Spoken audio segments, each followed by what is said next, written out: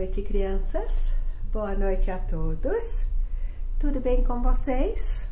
Então, hoje nós vamos contar a história de uma menina e ela se chama Anya. E é a viagem que ela vai fazer no sono. Então, a viagem do sono. Os desenhos do livrinho são tão bonitinhos que eu vou depois colocar a câmera mais perto e aí vocês podem olhar melhor os desenhos. Mas vamos primeiro acender a nossa vela.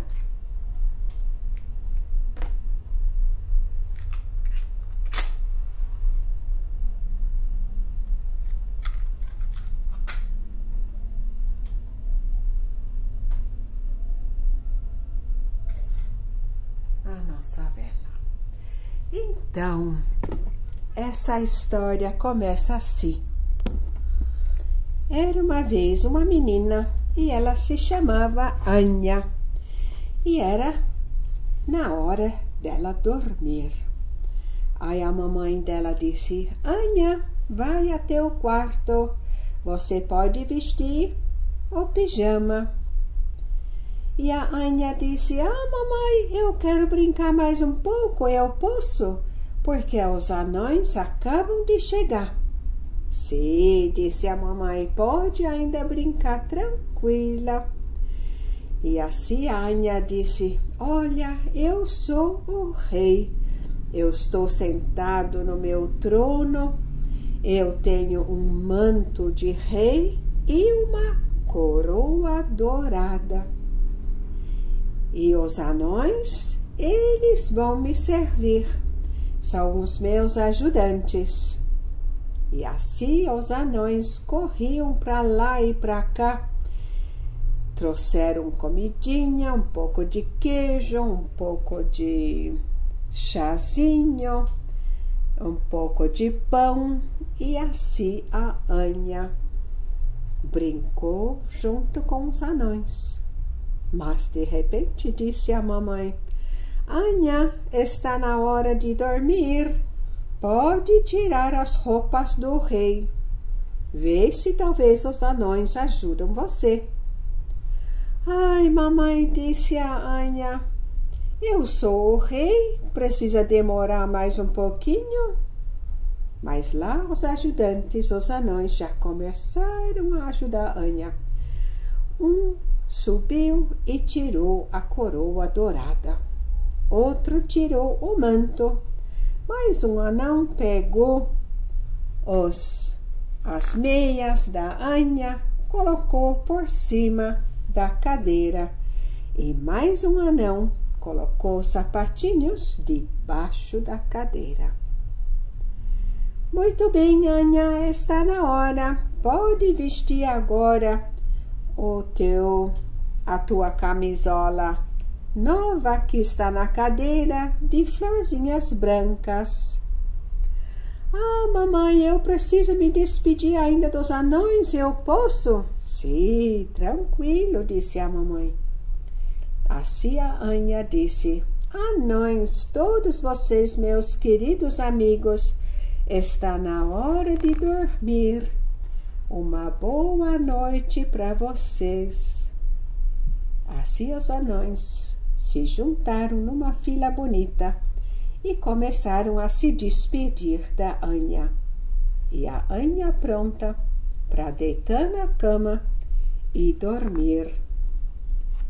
Assim os anões saíram pela janela que estava aberta.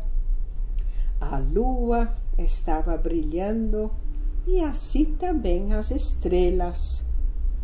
Um anão se virou e abanou ainda para Anha, e ela abanou de volta. Assim as anãs voltaram para a casa deles debaixo da terra. A Anha deitou na cama dela, fechou os olhos e a lua cuidava dela. Os raios da lua entraram no quarto, como também a luz das estrelas. E o ursinho na cadeira ficou junto com a Anha. Assim a Anha fechou os olhos e dormir. Mas não demorou muito, ou a viagem começou.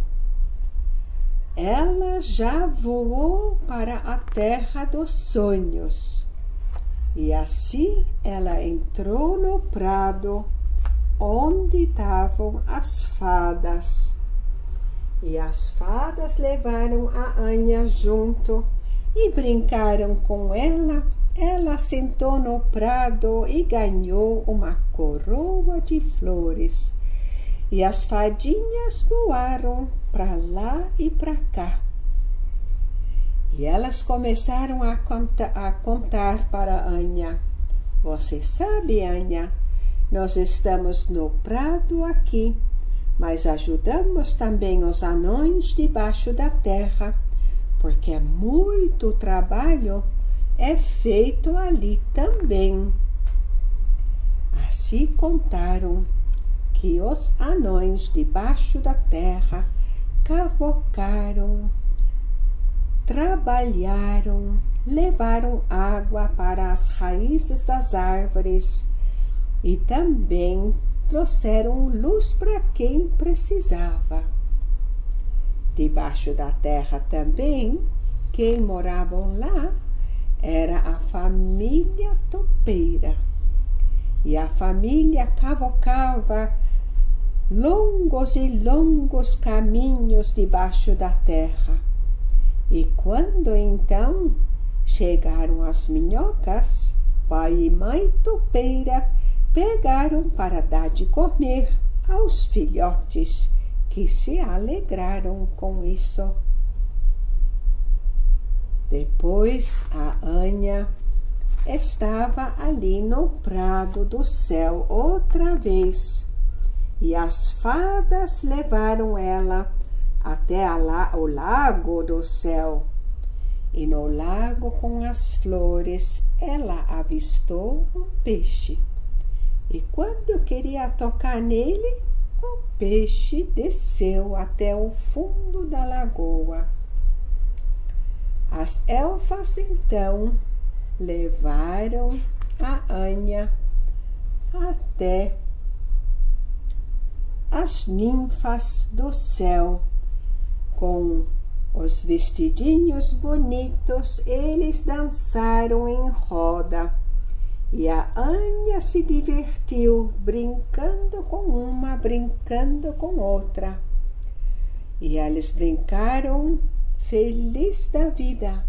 Mas aí uma fadinha disse: Olha, tem muito trabalho ainda para fazer. E logo acharam debaixo dos galhos potes com tinta e pincéis e assim cada um teve o seu trabalho para alegrar as flores que viraram azuis, lilás, amarelas e brancas e vermelhas. E assim o prado do céu ficou lindo e Anha olhou de olhos abertos. Ali ela estava dormindo na caminha dela. Mas a viagem do sono não acabou, não. Ela continuou a viagem. Ali no céu, então, quem chegou foi a coruja. E a coruja disse: Anha, Senta nas minhas costas, que eu já vou te levar até o céu entre a lua e as estrelas. Mas se segura firme, porque nós vamos bem no alto. A Anha então subiu nas costas da coruja e se segurou muito, muito bem. Foram voando cada vez mais alto. E a Anha olhou lá para baixo e viu a aldeia onde ela morava. Olha só, ela falou, olha só, parece tudo de brinquedo de tão pequeno que ficou. E ali logo mais a coruja então chegou até o céu das estrelas. Mas não tinha só as estrelas, também tinha os carneiros. Os carneiros estavam pastando ali entre a lua e as estrelas. E se um se perdia, ele então buscava de volta. E todos disseram: Mé, Mé, Anha, bem-vinda aqui no céu. E a Anha brincou então no prado das estrelas, junto com as, os carneirinhos.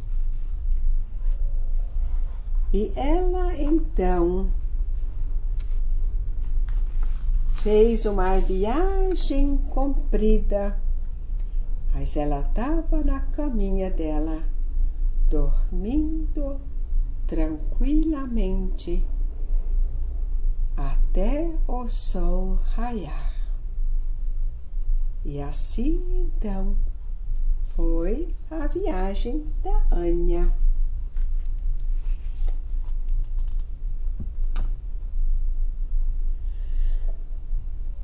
Dorme bem, queridas crianças. Até a próxima semana. Aí tem outra historinha para vocês. Uma boa noite a todos. Vamos soprar a nossa vela.